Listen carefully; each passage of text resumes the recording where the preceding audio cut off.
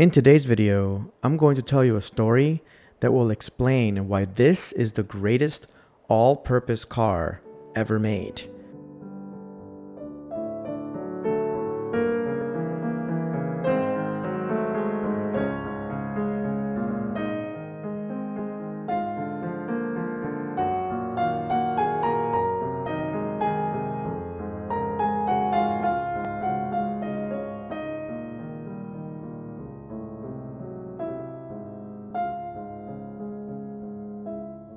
As you can see here, I'm all ramped up to get on the track. I'm here at the Florida International Rally and Motorsports course. I am a member here, so I can basically show up whenever I feel like showing up, uh, as long as they're having open track days. And it's always been pretty good. As you already know, I already changed the brake pads and fluid of my Type R, and they are good to go. But it was not my intention at all this day to go to the track. And that's the beauty of this car. So I had my dad over and we had a ton of projects to get done in the house. Mainly, we needed to reseal the pavers around my pool. We needed to reseal the concrete in my garage. We needed to clean up the garage with some solution. And we had to go pick that up. Well, I had to go pick that up. So early Sunday morning, I got up, got in my Type R, and was going to head to Home Depot when I realized, hey, isn't there an open track day today at the firm? And I checked, and there was. So I registered on my way to the firm. It's about an hour drive for me. And I already had my helmet in the car and decided, you know what? I have my helmet. I still have my camera equipment from the day before. Yes, on Saturday, the day before, I did another track day at the firm. And I just went and did a bunch of laps. Didn't check my pressures, didn't do anything put it in plus R mode, figured it out. As you can see there, I didn't even bother strapping my helmet in yet. It was that casual of a day. And I did a bunch of laps, chased down really fast cars again, and then packed up my car, went to Home Depot, returned some stuff, bought some materials, went home and worked on the house. This is the overall versatility of this car as you guys have seen in the past as well. I have a baby seat in the back. I carry my daughter in there. We, I've done road trips in this thing. This does absolutely everything.